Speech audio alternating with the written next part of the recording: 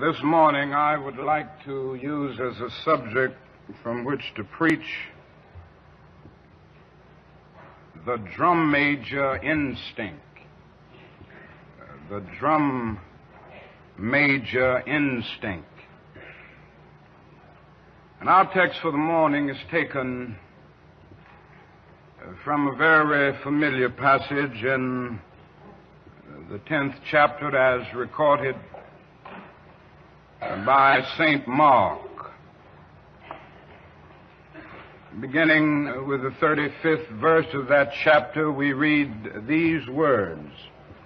And James and John, the sons of Zebedee, came unto him, saying, Master, we would that thou shouldest do for us whatsoever we shall desire.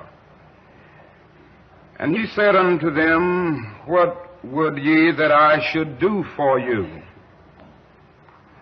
And they said unto him, Grant unto us that we may sit one on thy right hand and the other on thy left hand in thy glory. But Jesus said unto them, Ye know not what ye ask. Can ye drink of the cup that I drink of and be baptized with the baptism that I am baptized with? And they said unto him, We can. And Jesus said unto them, Ye shall indeed drink of the cup that I drink of, and with the baptism that I am baptized, withal shall ye be baptized. But to sit on my right hand and on my left hand is not mine to give but it shall be given to them uh, for whom it is prepared. And then Jesus goes on toward the end of that passage to say, But so shall it not be among you, but whosoever will be great among you shall be your servant and whosoever of you will be the chiefest shall be servant of all. The setting is clear. James and John are making a specific request of the Master They had dreamed, as most of the Hebrews uh, dreamed, of a coming king of Israel who would set Jerusalem free and establish his kingdom on Mount Zion and in righteousness rule the world. And they thought of Jesus as this kind of king. And and they were thinking of that day when Jesus would reign supreme as this new king of Israel. And they were saying now, when you establish your kingdom, let one of us sit on the right hand and the other on the left hand of your throne. Now, very quickly, we would automatically condemn James and John, and we would say they were selfish. Why would they make such a selfish request? But before we dim, condemn them too quickly, let us look calmly and honestly at ourselves, and we will discover that we too have those same basic desires for recognition, for importance, that same desire for attention, that same desire to be first. Of course, the other disciples got mad with James and John, and you can understand why, but we must understand that we have some of the same James and John qualities. And that is deep down within all of us an instinct. It's a kind of drum major instinct. a desire to be out front, a desire to lead the parade, a desire to be first. And it is something that runs the whole gamut of life. And so before we condemn them, let us see that we all have the drum major instinct. We all want to be important, to surpass others, to achieve distinction, to lead the parade. Alfred Adler, the great uh, psychoanalyst, contends that this is the dominant impulse.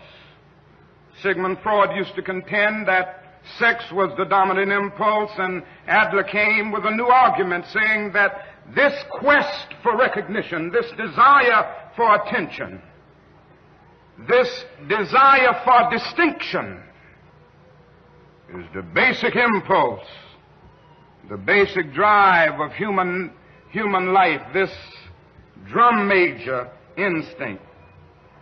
And you know, we began early to ask life to put us first. Our first cry as a baby was a bid for attention.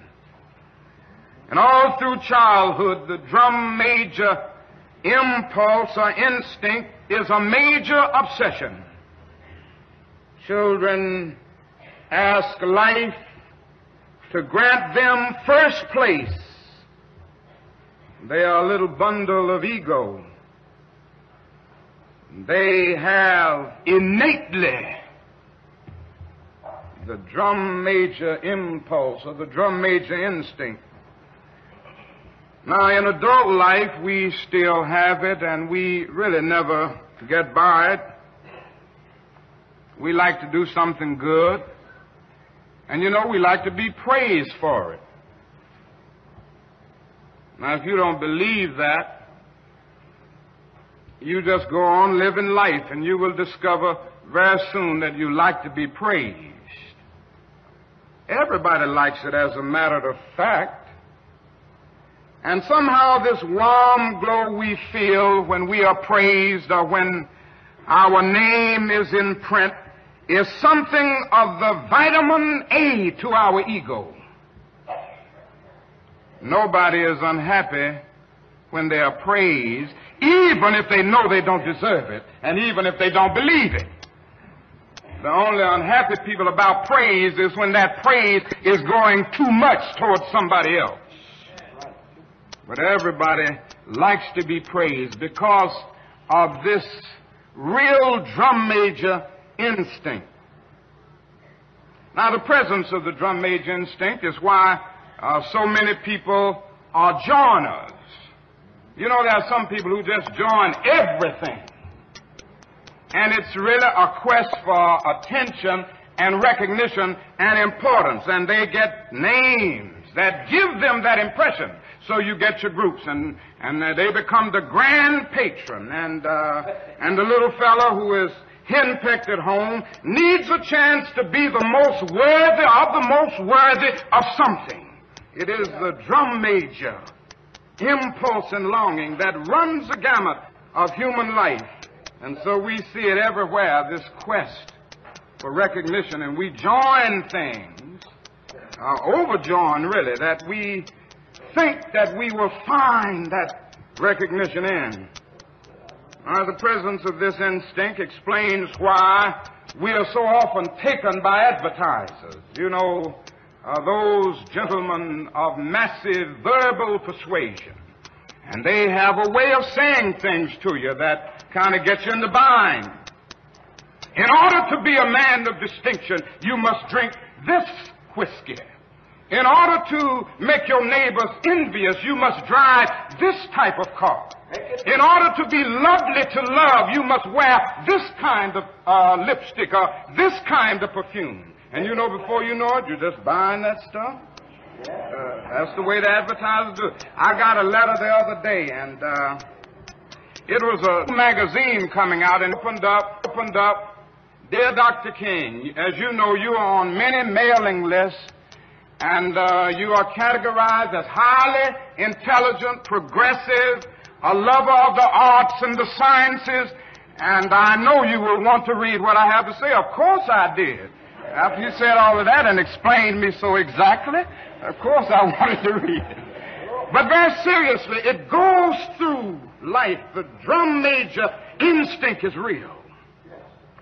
And you know what else had happened or causes happen to happen? It often causes us to live above our means. Make it plain. Make it plain. It's nothing but the drum major instinct. Yeah. You ever see people buy cars that uh, they can't even begin to buy in terms of their income?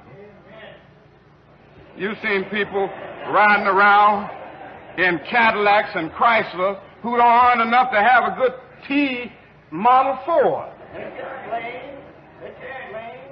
Make it plain. But it, refe- it feeds a repressed ego.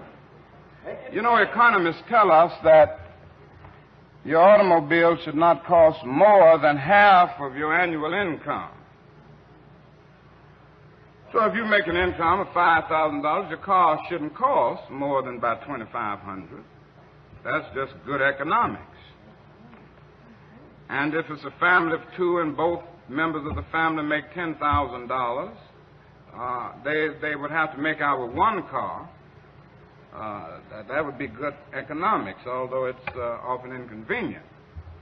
But so often, haven't you seen people making five thousand dollars a year and driving a car that costs six thousand, and they wonder why their ends never meet? That's a fact. Now, the economists also say that your house shouldn't cost, if you're buying a house, it shouldn't cost more than twice your income. That's based on the economy and how you would make ends meet. So, uh, if you have an income of $5,000, it's kind of difficult in this society, but say it's a family with an income of $10,000, the house shouldn't cost much more than 20000 Well, I've seen folk uh, uh, making $10,000 living in 40 and $50,000 houses. And you know, they just barely make it. They, they get a check every month somewhere, and they all, owe all of that out before it comes in. Never have anything to put away for rainy days. But now the problem is, it is the drum major instinct. And you know, you see people over and over again with the drum major instinct taking them over, and they, they just live their lives trying to outdo the Jones. They got to get this coat because this particular coat is a little better and a little better looking than, than Mary's coat. And I've got to drive this car because it's something about this car that makes my car a little better than my neighbor's car. I know a man who used to live in a $35,000 house and other people started building $35,000 houses, so he built a $75,000 house, and then somebody else built a $75,000 house, and he built a $100,000 house, and I don't know where he's going to end up if he's going to live his life trying to keep up with the Joneses. There comes a time that the drum major instinct can become destructive. Make it plain. And that's where I want to move now. I want to move to the point of saying that if this instinct is not harnessed, it becomes a very dangerous, pernicious instinct. For instance, if it isn't harnessed, it causes one's personality to become distorted. I guess that's the most damaging aspect of it, what it does to the personality. If it isn't harnessed, you will end up day in and day out trying to deal with your ego problem by boasting. Have you ever heard people that, you know, and I'm sure you've met them, that really become sickening because they just sit up all the time talking about themselves.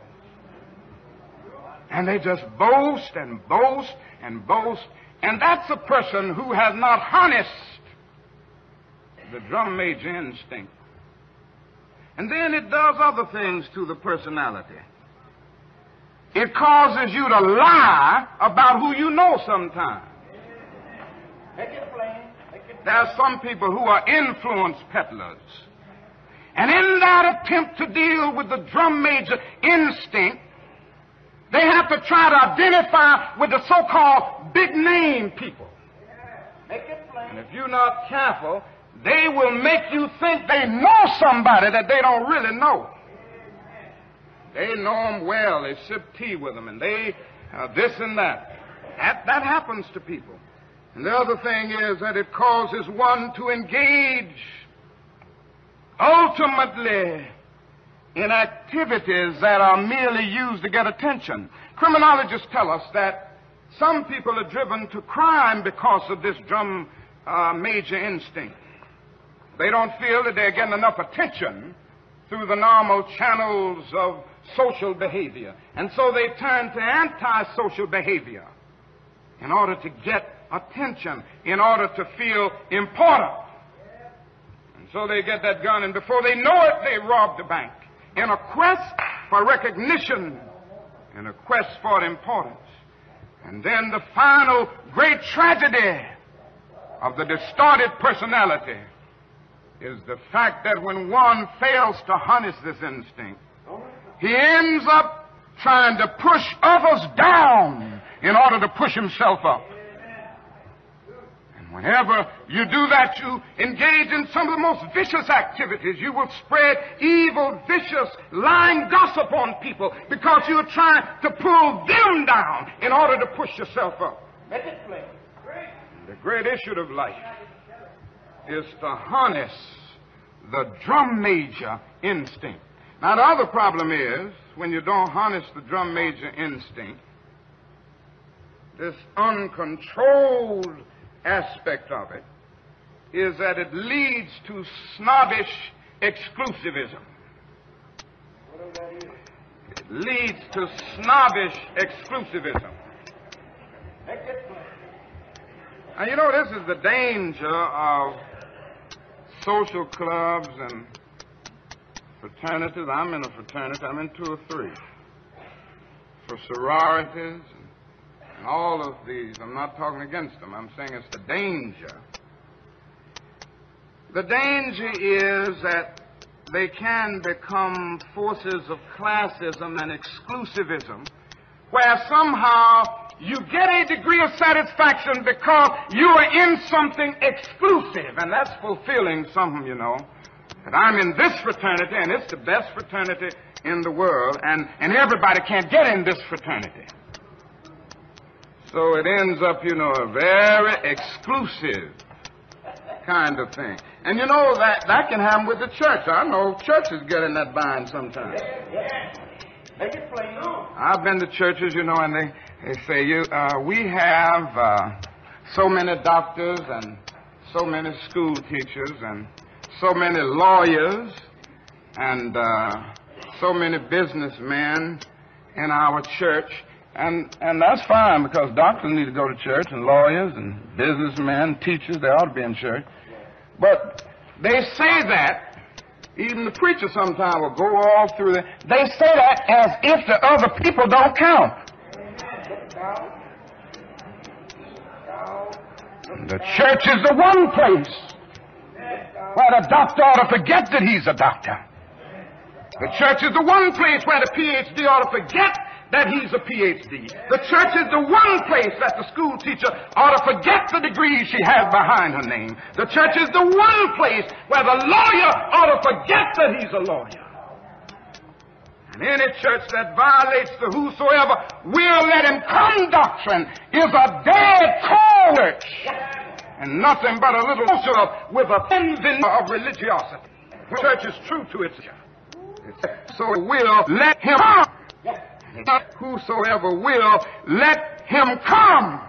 And it does not suppose to satisfy the perverted uses of the drum major instinct. It's the one place where everybody should be the same, standing before a common master and savior. Yes. And a recognition grows out of this that all men are brothers because they are children Yes. of a common father.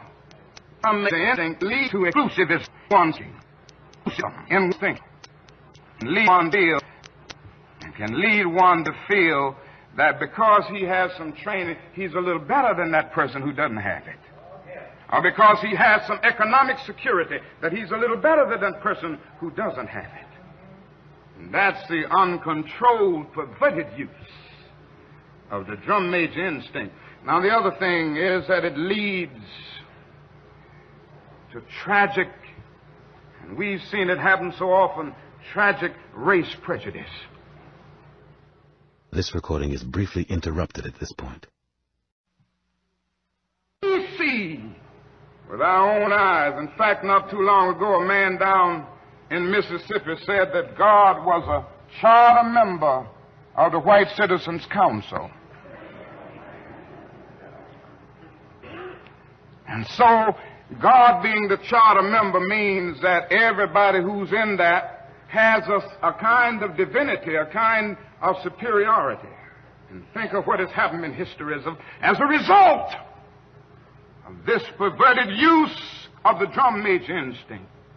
Has led to the most tragic prejudice, the most tragic expressions of man's inhumanity to man.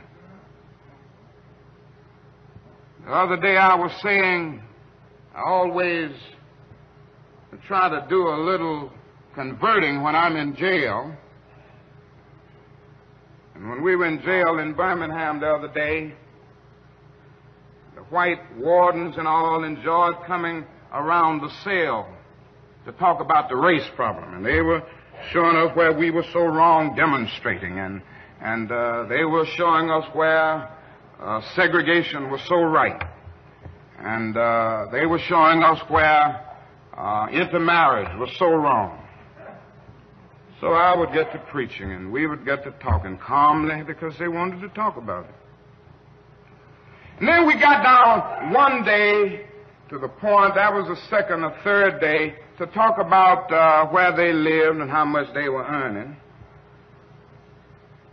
And when those brothers told me what they were earning, I said, now you know what? You ought to be marching with us. You, you just as poor as Negro. And I said, you are put in the position of supporting your oppressor. Because through prejudice and blindness, you fail to see that the same forces that oppress Negroes in American society oppress poor white people. And all you are living on is the satisfaction of your skin being white and the drum major instinct of thinking that you are somebody big because you're white and you're so poor you can't send your children to school. You ought to be out here marching with every one of us every time we have a march. Now that's the fact. The poor white has been put into this position where through blindness and prejudice he is forced to support his oppressors. And the only thing he has going for him is the false feeling that he's superior because his skin is white and can hardly eat and make his ends meet week in and week out. Now, not only does it stop, I mean, not only does this thing go into the racial struggle, it goes into the struggle between nations. And I would submit to you this morning that what is wrong in the world today is that the nations of the world are engaged in a bitter, colossal contest for supremacy. And if some doesn't happen to stop this trend, I'm sorely afraid that we won't be here to talk about Jesus Christ and about God and about brotherhood too many more years. If somebody doesn't bring an end to this suicidal thrust that we see in the world today, none of us are going to be around because somebody's going to make the mistake through our senseless blunderings of dropping a nuclear bomb somewhere and then another one is going to drop. And don't let anybody fool you. This can happen within a matter of seconds. They have 20 megaton bombs in Russia right now that can destroy a city as big as New York in three seconds with everybody wiped away in every building. And we can do the same thing to Russia and China. But this is where we are drifting, and we're drifting there Because nations are caught up with the drum major instinct. I must be first. I must be supreme. Our nation must rule the world. And I am sad to say that the nation in which we live is the supreme culprit. And I'm going to continue to say it to America. Because I love this country too much to see the drift that it has taken.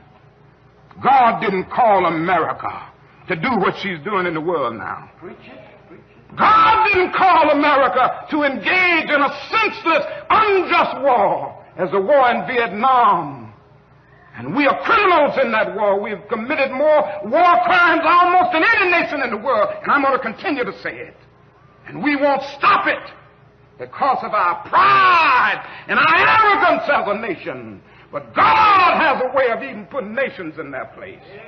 The God that I worship has a way of saying, don't play with me.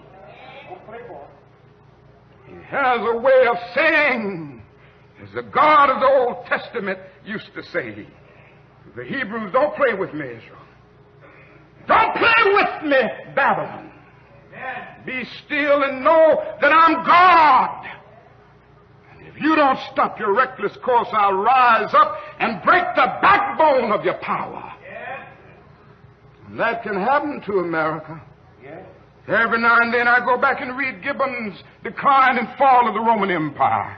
And when I come and look at America, I say to myself, the parallels are frightening. We have perverted the drum major ins- uh, instinct. But let me rush on to my conclusion because I want you to see what Jesus was really saying. What was the answer that Jesus gave these men? It's very interesting. One would have thought that Jesus would have condemned them. One would have thought that Jesus would have said, You're out of your place. You're selfish. Why would you raise such a question? That isn't what Jesus did. He did something altogether different. He, he said in substance, Oh, I see. You want to be first? You want to be great? You want to be important? You want to be significant? Well, you ought to be. If you're going to be my disciple, you must be. But he reordered priorities. And he said, yes, don't give up this instinct. It's a good instinct if you use it right. Yes. It's a good instinct if you don't distort it and pervert it. Don't give it up. Keep feeling the need for being important. Keep feeling the need for being first. But I want you to be first in love. I want you to be first in moral excellence. I want you to be first in generosity. That is what I want you to do. He transformed the situation by giving a new definition of greatness. And you know how he said it? He said, Now, brethren, I can't give you greatness. And really, I can't make you first. This is what Jesus said to James and John. You must earn it. True greatness comes not by favoritism, but by fitness. And the right hand and the left are not mine to give. They belong to those who are prepared. And so Jesus gave us a new norm of greatness. If you want to be important, wonderful. If you want to be recognized, wonderful. If you want to be great, wonderful. But recognize that he who is greatest among you shall be your servant. That's a new definition of greatness. And this morning, the thing that I like about it, by giving that definition of greatness, it means that everybody can be great. Because everybody can serve. You don't have to have a college degree to serve. You don't know, you don't have to make your subject and your verb agree to serve. You don't have to know about Plato and Aristotle to serve. You don't have to know Einstein's theory of relativity to serve. You don't have to know the second theory of thermodynamics in physics to serve. You only need a heart Yes, full of grace, Yes, Yes, soul generated by love. Yes. And you can be that servant. I know a man, and I just want to talk about him a minute, and maybe you will discover who I'm talking about as I go down the way. Because he was a great. He just went about serving. He was born in an obscure village, Yes, yes. the child of a poor peasant woman. And then he grew up in still another obscure village where he worked as a carpenter until he was 30 years old. Then for three years, he just got on his feet and he was an itinerant preacher. And he went about doing some things. He didn't have much. He never wrote a book. He never held an office. He never had a family. He never owned a house. He never went to college. He never visited a big city. He never went 200 miles from where he was born. He did none of the usual things that the world would associate with greatness. He had no credentials but himself. He was only when the tide of public opinion turned against him. Called a rouse. They turned against him. They called him a rabble rouser. They called him a troublemaker. They said he was an agitator. He practiced civil disobedience. He broke injunctions. And so he was turned over to his enemies and went through the mockery of a trial. And the, the, the, the irony of it all is that his friends turned him over to them. One of his closest friends denied him. Another of his friends turned him over to his enemies. And while he was dying, the people who killed him gambled for his clothing, the only possession that he had in the world. When he was dead, he was buried in a borrowed tomb through the pity of a friend. Nineteen centuries have come and gone. Today, he stands as the most influential figure that ever entered human history. All the armies that ever marched, all the navies that ever sailed, all parts that ever, st- all kings that ever reigned together, not fed the life of men put together, have not affected the life of man on this earth as much as that one solitary life. His name may be a familiar one, but today I can hear him talking about him. Every now and then somebody says he's King of Kings. And again I can hear somebody saying he's Lord of Lords. Somewhere else I can hear somebody saying, in Christ there is no east nor west. And then they go on and talk about in Him there's no north and south, but one great fellowship of love throughout the whole wide world. He didn't have anything. He just went around serving and doing good. This morning, you can be on his right hand and his left hand if you serve. It's the only way in. Every now and then, I guess all think realistic about that day, about that day when we will be victimized with what is life's final common denominator. That's something that we call death. We all think about it, and every now and then I think about my own death, and I think about my own funeral, and I don't think of it in a morbid sense. Every now and then I ask myself, what is it that I would want said? And I leave the word to you this morning. If any of you around when I have to meet my day, I don't want a long funeral. And if you get somebody to deliver the eulogy, tell them not to talk too long. Every now and then I wonder what I want them to say. Tell them not to mention that I have a Nobel Peace Prize. That isn't important. Tell them not to mention that I have three or four hundred other awards. That's not important. Tell them not to mention where I went to school. I'd like somebody to mention that day that Martin Luther King Jr. tried to give his life serving others.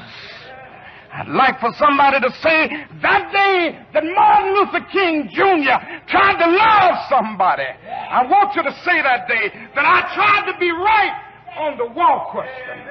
I want you to be able to say that day that I did try to feed the hungry. I want you to be able to say that day that I did try in my life to clothe those who were naked.